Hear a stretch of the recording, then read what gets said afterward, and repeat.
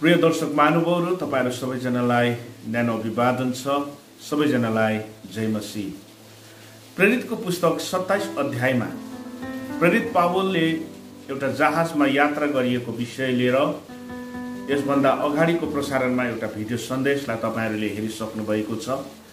यही विषयलाई अगाडि बढाउँदै आज म प्रेरितको पुस्तक अठाइस अध्यायबाट यसको अर्को एउटा भागलाई तपाईँहरूको अगाडि प्रस्तुत गरिरहेको छु। सत्ताइस अध्यायमा हामीले सिकेका पाठ के थियो भने प्रेरित पावल जो त्यस समयमा एक कैदी थिए अनि ऊ सँगसँगै अरू दुई सय पचहत्तरजना मानिसहरू एउटा जहाजमा यात्रा गरिरहेका थिए। अनि त्यस यात्रा अवधिमा प्रेरित पावलले उनीहरूलाई कैद गरेर लाने फौजका कप्तानलाई यो सल्लाह दिए कि हामी यात्रामा अगाडि बढ्नु उचित छैन। यदि हामीले जहाजलाई अगाडि बढायौँ भने केवल जहाज र माल सामान मात्र होइन तर हामी सबैको ज्यान पनि जोखिममा पर्न सक्छ। तर कप्तानले प्रेरित पावलको कुरालाई सुन्नुभन्दा जहाजका मालिक अनि चालकहरूका कुरालाई सुन्न उचित सम्झे अनि उनीहरू यात्रामा अगाडि बढे।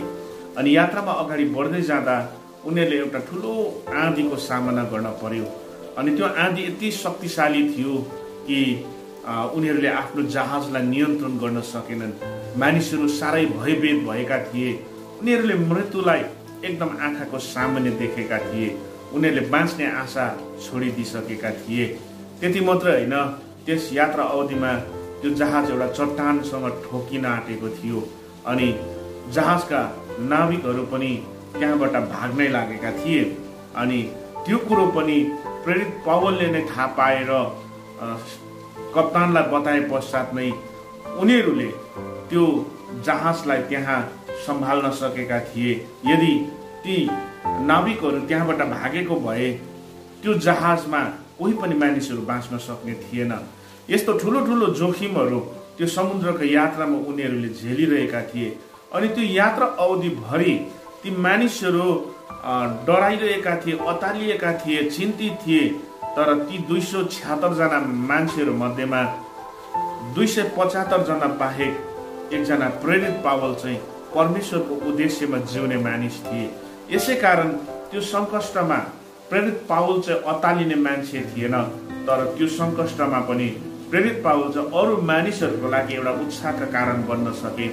अनि त्यो जहाजको यात्रामा जुन सङ्कष्ट आइपरेको थियो त्यो सङ्कष्टमा पनि प्रेरित पावलले चाहिँ परमेश्वरको अगुवाई खोजे अनि परमेश्वरको अगुवाईबाट नै उसले मानिसहरूलाई उत्साहका सन्देश दिन सके अनि उसको कारणले गर्दाखेरि नै त्यो जहाजका सबै मानिसहरू सुरक्षित एउटा किनारमा आइपुग्न सके। र त्यो सन्देशको मूल सार के थियो भनेदेखिलाई आज पनि संसारमा मानिसहरू अहिलेको परिस्थितिको कारणले चिन्तित छन् भयभीत छन् डराइरहेका डराइराखेका छन्। तर हामी परमेश्वरको उद्देश्यमा खडा हुन सक्यौँ भनेदेखिलाई यो सङ्कष्टले भरिएको संसारमा पनि आज हामी प्रेरित पावल जस्तै परमेश्वरको योजनालाई पुरा गर्ने माध्यम बन्न सक्छौँ अनि हामी अरू मानिसहरूलाई उत्साह दिने कारण बन्न सक्छौँ अनि हाम्रो कारणले आज यो विपत्तिमा परेको संसार बाँच्न सक्छ भन्ने कुरा मैले तपाईँहरूलाई बताइरहेका थिएँ। अनि यो यात्राको अन्त चाहिँ एउटा किनारमा आइपुगेको छ। प्रेरितको पुस्तक सत्ताइस अध्यायको अन्तमा चाहिँ उनीहरू एउटा किनारमा कुशलसँग आइपुगे भन्ने कुरामा सकिएको छ। अनि प्रेरितको पुस्तक अठाइस अध्यायको सुरुदेखि हेऱ्यो भनेदेखिलाई उनीहरू चाहिँ कुशलसँग जुन किनारमा आइपुगेको थियो त्यो किनार चाहिँ एउटा माल्टाको बन्दरगाह थियो।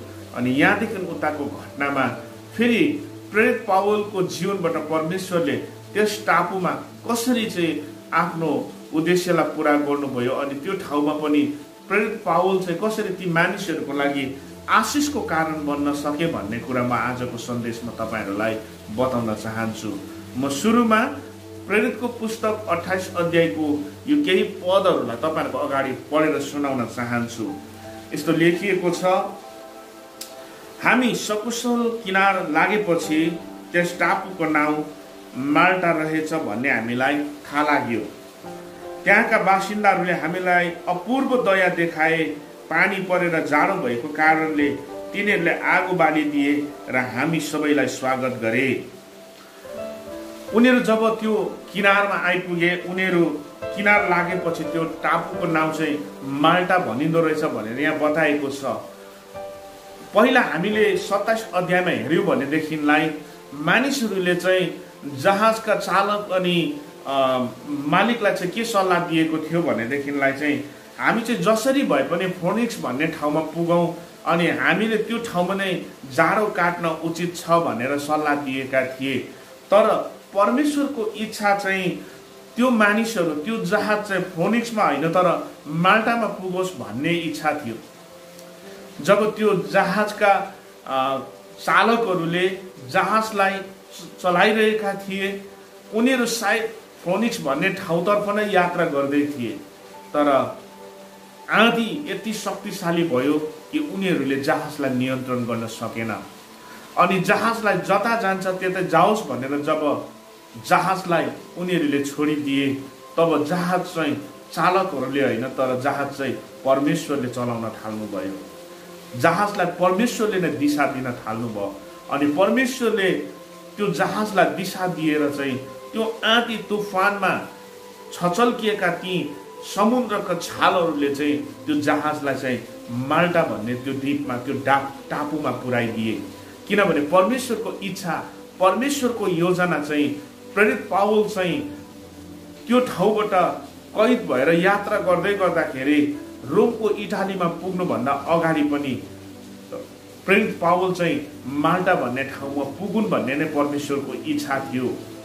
अनि यो ठाउँमा आए पश्चात पनि हामी प्रेरित पावलको जीवनमा अर्को एउटा चुनौतीपूर्ण सङ्कष्ट आएको हामी देख्दछौँ। अनि त्यो सङ्कष्ट चाहिँ के छ भने यता तिन पददेखि मुनि पढ्यौँ भने यस्तो लेखिएको छ पावलले एक बिटा दाउरा जम्मा गरेका थिए र सो ल्याएर आगोमा हाले आगोको तापले एउटा सर्प निस्केर आयो र तिनको हातमा बेरियो। त्यहाँका बासिन्दाहरूले तिनको हातमा सर्प बेरिएको देखेर आपसमा भन्न लागे यो मानिस पक्का पनि ज्यान मारा नै हुनुपर्छ? यो समुद्रबाट बाँचेर त निस्क्यो तर इन्साफबाट यो उम्कन सकेन। प्रेरित पावलको जीवनबाट धेरै आश्चर्य कर्महरू भइरहेको थियो। जहाजका ती सबै दुई सय पचहत्तरजना मानिसहरूले पनि यो कुरोलाई बुझिसकेका थिए कि हामी आज सुरक्षित छौँ भने त्यो चाहिँ केवल यो व्यक्तिको कारणले हो। अनि त्यो ठाउँमा पनि प्रेरित पावलको जीवनमा एउटा चुनौतीपूर्ण एउटा एउटा समस्या आइपरेको छ। अनि त्यहाँ उसले त्यो जाडोमा पानी परिरहेको बेलामा जब त्यहाँको मानिसहरूले उनीहरूको लागि आगो बालिदिए प्रेरित पावलले एक बिटा दाउरा त्यहाँ ल्याएको छ अनि त्यो दाउरालाई बाल्दै गर्दाखेरि त्यो आगोको तापले गर्दा एउटा सर्प त्यहाँ निस्केको छ अनि प्रेरित पावलको हातमा बेरिएको छ। अनि घटना के छ भनेदेखिलाई त्यहाँ त्यो प्रेरित पाउलको हातमा सर्प देख्दाखेरि मानिसहरूले भनेको छ यो मानिस चाहिँ एउटा दुष्ट मानिस एउटा ज्यानमारा थिए। यसै कारण नै यो मान्छे समुद्रबाट बाँचेर त निस्क्यो तर इन्साफबाट उम्कन सकेन। तर अझै मुनिका पाँच पददेखि उता पढ्यौँ भनेदेखिलाई यहाँ के बताएको छ भने तर पावलले चाहिँ त्यो सर्पलाई आगोमा झट्कारिदिए र तिनको केही बिगार हुन पाएन। तर तिनको शरीर सुनिनेछ अथवा तिनी एक्कासी ढलेर मर्नेछन् भनी तिनीहरूले प्रतीक्षा गर्न लागे तर धेरै बेरसम्म प्रतीक्षा गरिरहँदा पनि तिनको केही बिगार नभएको देखेर तिनीहरूले आफ्नो विचार बदलेर भन्न लागे। यिनी त देउता पो रहेछन्। यहाँ मानिसहरूको पहिलेको विचार अर्को थियो पहिलेको सोचाइ अर्को थियो। तर एकैछिनमा फेरि त्यो मानिसहरूको प्रेरित पावल प्रतिको विचार बदलिएको छ। अनि प्रेरित पावलको जीवनमा यो एउटा परमेश्वरको काम गर्ने मौका थियो। उसलाई मानिसहरूले दोषारोपण गरिराखेका थिए। विचार विभिन्न प्रकारको विचार र अड्कलबाजीमा निश्चय त्यहाँनिर प्रेरित पावललाई मानिसहरूले न्याय गरिरहेका थिए। आज यदि हामी परमेश्वरको उद्देश्यमा खडा हुन्छौँ हामी परमेश्वरको योजनालाई पुरा गर्नको लागि हामी जिउँछौँ भने हाम्रो वरिपरिका मानिसहरूले सधैँ नै हामीलाई साथ दिन्छ भन्ने छैन। हाम्रो जीवनबाट असल कार्यहरू देखे तापनि मानिसहरूको क्षण क्षणमा हामीप्रतिको विचार र प्रतिक्रियाहरू बदलिन सक्छ। यहाँ पनि प्रेरित पावल प्रति पहिले मानिसहरूको विचार सही थिएन। तर केही समयपछि फेरि प्रेरित पावलप्रति ती मानिसहरूको विचार बदलिएको छ। म ठान्छु प्रेरित पावलले कहिले पनि त्यो मानिसहरूको विचारमा आफैलाई छोड्नु भएन। तर त्यो ठाउँमा प्रेरित पावल धर्जताको साथमा परमेश्वरको अगुवाई खोज्ने मान्छे थिए। परमेश्वरकै उद्देश्यलाई पुरा गर्ने मान्छे थिए। उसले कुनै पनि ठाउँ कुनै पनि परिस्थिति उसले केवल अनि केवल परमेश्वरको उद्देश्य पुरा गर्नको लागि प्रयोग गरेका छन्। उनीहरू उनले कुनै पनि ठाउँ कुनै पनि परिस्थिति उनले केवल अनि केवल परमेश्वरको महिमाको निमित्त उनले त्यो मौकाको रूपमा प्रयोग गरेका हामी देख्छौँ। अनि यस ठाउँमा यो घटनाले चाहिँ प्रेरित पावलको निमित्त त्यहाँको मानिसहरूको दृष्टिमा केवल विचार मात्रै बदलिएन तर उनीहरूको निमित्त प्रेरित पावलले एउटा परमेश्वरको काम गर्ने ठुलो ढोका खोलिएको छ। हामी यहाँदेखि उताको घटनालाई हेऱ्यौँ भनेदेखिलाई त्यस टापुका पब्लिस नाउ भएको मुखियाले जग्गा जमिन मुखियाको जग्गा जमिन त्यस ठाउँको छेउछाउमा थियो। उनले हामीलाई स्वागत गरे र तिन दिनसम्म उनको घरमा हाम्रो अतिथि सेवा गरे। पब्लियसका बाबु ज्वरो र आउँको रोगले बिरामी थिए। पावल तिनलाई हेर्न गएर तिनको लागि प्रार्थना गरे र आफ्नो हात तिनीमाथि राखी तिनलाई निको पारे। यो घटना भएपछि त्यस टापुका अरू रोगी मानिसहरू पनि आए र निको पारिए। तिनीहरूले धेरै प्रकारले हाम्रो आदर गरे। जब हामी जहाजमा चढ्यौँ तिनीहरूले हामीलाई चाहिए जति सामानहरू जहाजमा हालिदिए यो माल्टा भन्ने ठाउँमा प्रेरित पावलको जीवनमा सुरुमा एउटा चुनौती छ। उसले त्यहाँ एउटा समस्याको सामना गर्न परेको छ। तर त्यो समस्या उसको जीवनमा आएको चुनौती परमेश्वरको काम गर्ने एउटा मौका थियो। हामी पनि कुनै पनि सङ्कष्ट कुनै पनि विपत्ति नआएसम्म हामी परमेश्वरको महिमालाई देख्न सक्दैनौँ। जब पनि संसारमा सङ्कष्ट आइपर्दछ जब पनि संसारमा विपत्ति आउँदछ प्रियहरू हामीले परमेश्वरको साक्षी बन्ने अनि त्यो मान्छेहरूलाई परमेश्वरको एउटा समाधान दिने हामीले अवसर पाइरहेका हुन्छौँ। प्रेत पावलको जीवनलाई हेऱ्यौँ भनेदेखिलाई त्यो जहाजमा चढेका अरू यात्रीहरू भन्दा उसको जीवन अझै कठिन थियो अझै जोखिमपूर्ण थियो किनभने उता एउटा साङ्लाले बाँधिएको कैद थियो।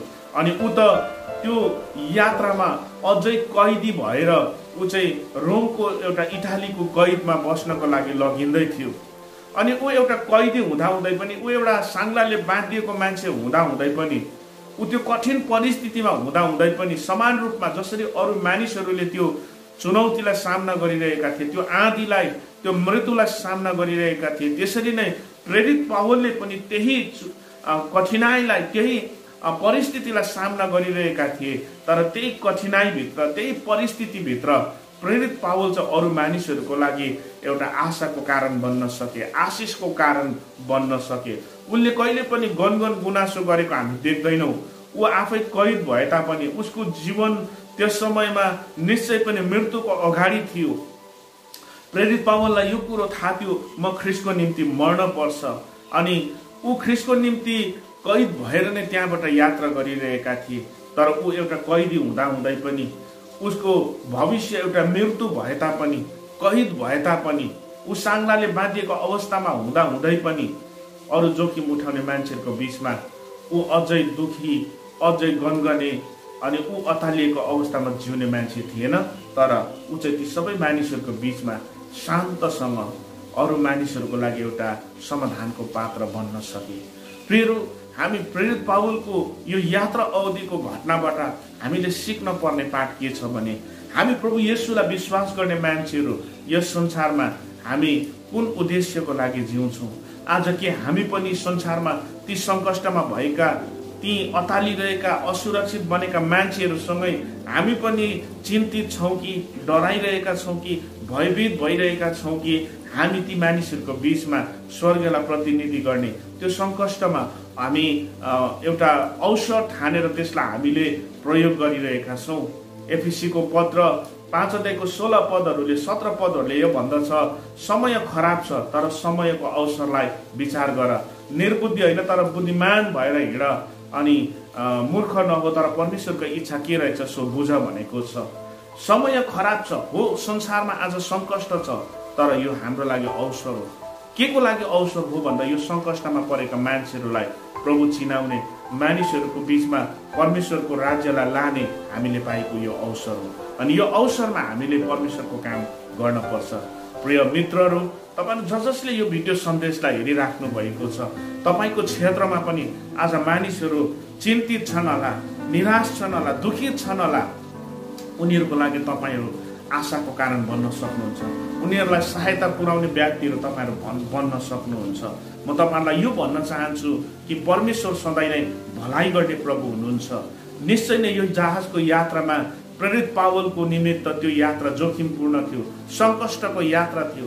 तर त्यो सङ्कष्टभित्र त्यो जोखिमभित्र पनि प्रेरित पावलको जीवनबाट परमेश्वरले आफ्नो स्वर्गीय उद्देश्य र योजनालाई पुरा गरिराख्नु भएको थियो। हरेक सङ्कष्टमा हरेक परिस्थितिमा परमेश्वरले आफ्नो जनहरूको लागि चाहिँ केवल अनि केवल भलाइ गर्नुहुन्छ भन्ने कुरा रोमी आठ अध्यायको अठाइस पदमा लेखिएको छ। सो आजको यो सन्देशको अन्तमा आएर म फेरि पनि तपाईँहरूलाई यो कुरा भन्दैछु। आजको परिस्थितिहरूलाई आजको सङ्कष्टहरूलाई तपाईँहरूले कसरी हेर्नु हुँदैछ? त्यो दुई सय छ्यात्तरजना मान्छेहरू जोहरूले जहाजमा यात्रा गरिरहेका थिए ती यात्रा गर्ने मान्छेहरूमा दुई सौ पचहत्तरजना मान्छेहरूले त्यो सबै परिस्थितिलाई जुन दृष्टिकोणमा हेर्दै थिए जसरी त्यसलाई सामना गर्दै थिए जसरी बुझेका थिए ती मानिसहरू मध्येमा एकजना प्रेरित पावलले चाहिँ त्यही परिस्थितिलाई एउटा फरक दृष्टिकोणमा हेरिरहेका थिए। त्यो सङ्कष्ट अरू मानिसहरूको लागि सङ्कष्ट थियो विपत्तिको समय थियो तर प्रेरित पावलको लागि त्यो सङ्कष्ट चाहिँ परमेश्वरको काम गर्ने मौका थियो।